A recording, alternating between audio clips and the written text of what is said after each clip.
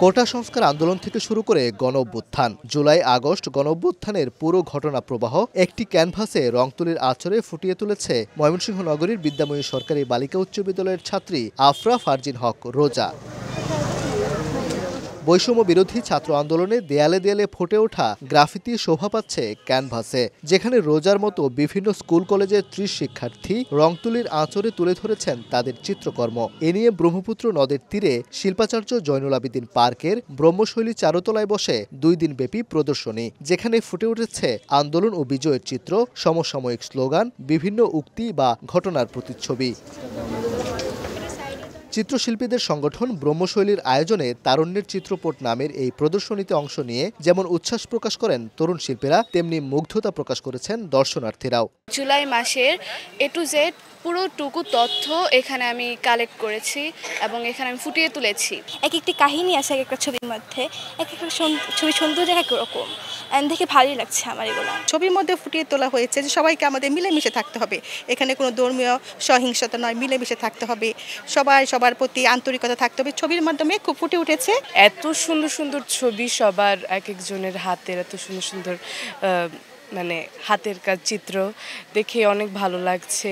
বাচ্চারা অনুপ্রাণিত হবে শিক্ষার্থীরা অনুপ্রাণিত হবে।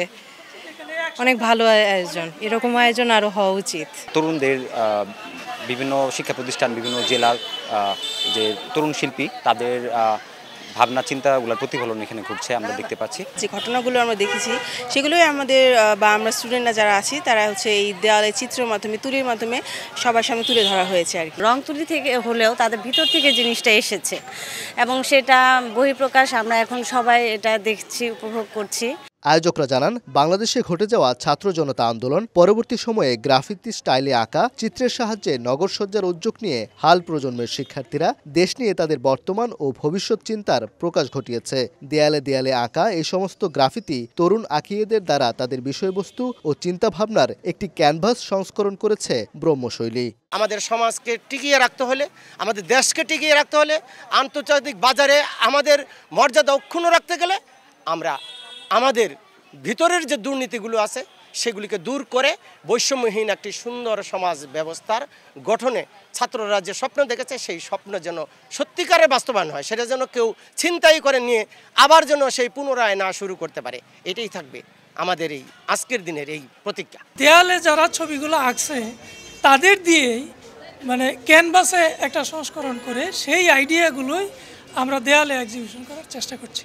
এই জন্যই বলা হচ্ছে গ্রাফিতি প্রদর্শন। আর্টিস্ট না হয়েও যারা এইবার আমাদের দেশে দেয়ালে দেয়ালে ছবি আঁকলো, তাদের যে প্রতিভা এক কথায় অসাধারণ।